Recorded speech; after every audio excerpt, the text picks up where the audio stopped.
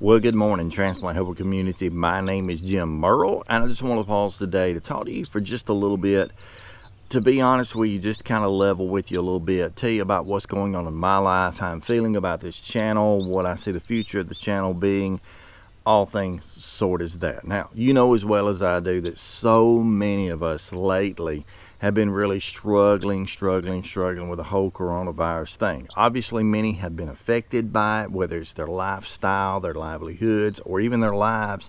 Many have been very sick, many have been struggling. All types of things on top of that, things such as protests, riots, uh, money shortages, which I don't believe for a minute, but anyway, we're being told that there's money shortages, all these things just kind of been piling on to make things very, very difficult. And I know because of that, there are a lot of people out there who are struggling, a lot of people who are having difficulties, a lot of people who are looking for an escape. They're looking for a way out of this situation, uh, where they get out of it physically, and as in coronavirus just passes and, and it's over, or where they can just escape emotionally. They want to turn off the television, shut the newspaper down if they actually have one, uh, turn off the internet, just just not look at anything. And I totally, totally understand that. There's not a whole lot there that's actually positive right now that can encourage a person. Basically, if you turn on the television, you thumb through uh, any of the social media platforms, uh, any news platforms,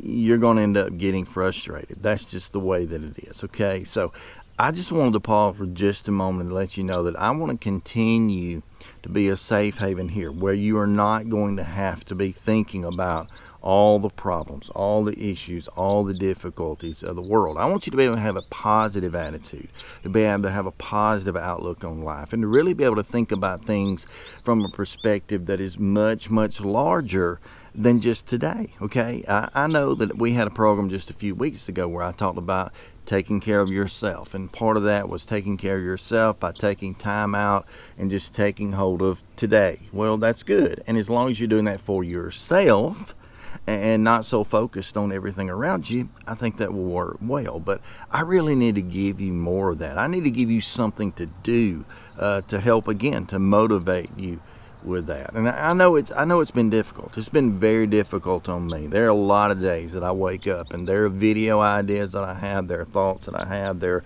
things that I really think we need to be discussing. But actually, sometimes I just back away and I don't do that because either A, I just don't think it's what you want to hear for the day, or B, I'm afraid that if I do talk about that day, that particular topic that day, it's going to be taken altogether wrong.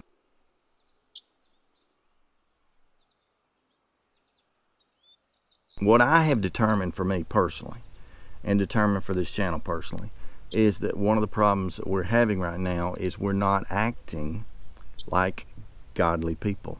We're not acting, as we say, Christ like. We're not living Christ like lives.